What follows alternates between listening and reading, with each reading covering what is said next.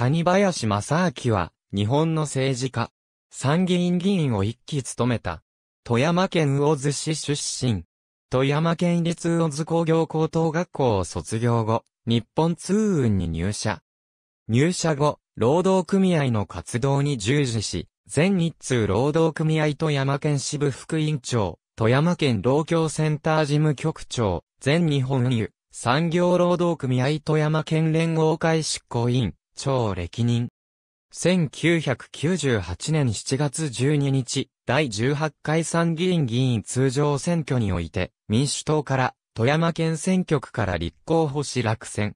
同年8月1日、重広市衆議院議員の死去に伴う富山肉補欠選挙へ立候補を要請されるが、辞退。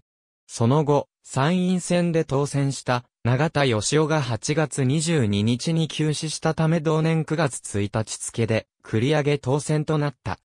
永田との票差は13万7168票差であり、国政選挙の地方区の繰り上げ当選の中では最下位、当選候補との得票差が最も大きい例である。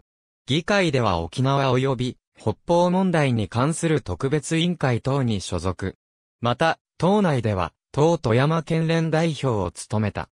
2004年、第20回参議院議員通常選挙において、民主党から富山県選挙区に立候補し、前回より大幅に得票を伸ばしたものの自由民主党から立候補した河合常則に敗れ、落選した。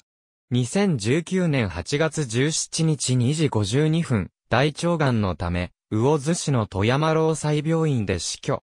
72歳没。